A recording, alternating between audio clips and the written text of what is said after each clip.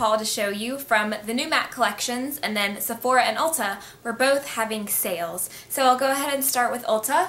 Ulta was having a 15% off sale and then they had a 40% off sale the next week. So during the 15% off sale I got some hair products. First I got the It's a 10 Miracle Leave-In Plus Keratin how did I live without this? I've tried this a few times and it's such an awesome detangler. My hair is really curly and gets really tangly, so I picked up this.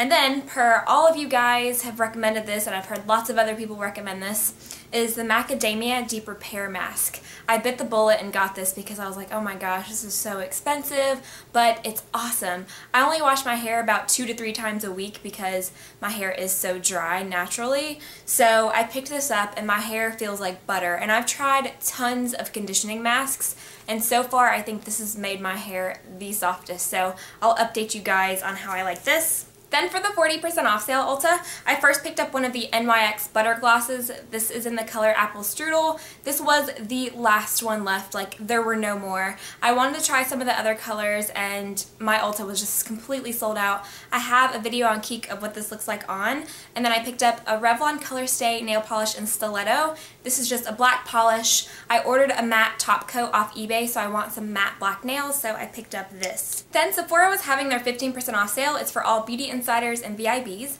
I only picked up one thing, but it's something I've been eyeing, and it's the NARS eyeshadow single in Coconut Grove.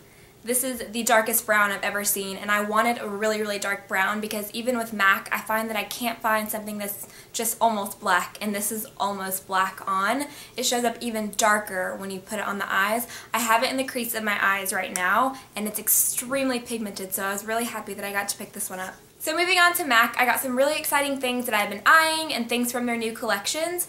I got a few things from the fashion sets and the In Extra Dimension. So I'll start with the fashion sets. If you want to see what the lipsticks I got look like on, I have pictures on Instagram.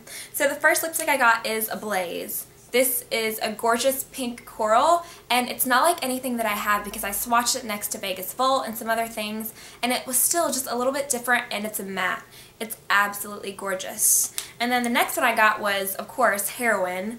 I've been eyeing this since it came out, I think last year, and I wanted it. I think there were two left whenever I got this, and I got it a few hours after it launched at the MAC counter. So I picked up Heroine, and it's actually pretty wearable. I have pictures, like I said, on Instagram, and I got a lot of compliments when I wore it out. Then from the In Extra Dimension collection, I picked up Double Definition Mineralized Skin Finish. This is what I'm wearing now on my cheeks. I hope the light isn't washing it out. But I've been wearing this ever since I got it a few days ago. And it's just beautiful. It's a bronzy peach shade and I use this lighter gold color as a highlight and then I used it all swirled together as like a blush and it gives a really pretty bronzy effect to the face.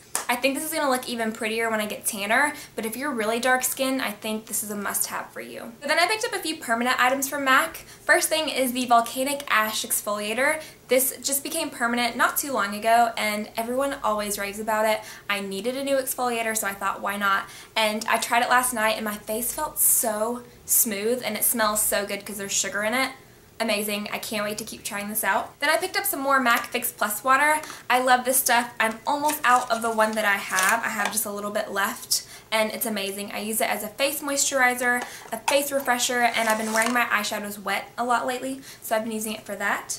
And then what I have on my lids right now is MAC's Pressed Pigment and Deeply Dashing. I've seen so many people wear this lately and it's just gorgeous. It makes your eyelids look wet and it's beautiful. So I picked up this. Then for the eyes, I also picked up MAC's Tan Pigment. I wore this also in a picture on Instagram because when I get stuff I have to play with it. And it's a beautiful bronzy sheen, but it's got a little bit of peach in it.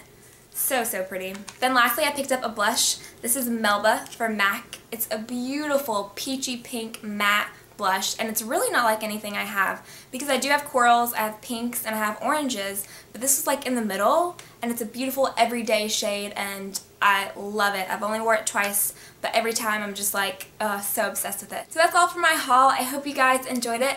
Let me know if you got anything from the sales or new collections. Of course all these sales and new stuff was coming out at the same time so I'm like a kid in a candy shop. But let me know. Thank you for watching and I'll see you in my next video.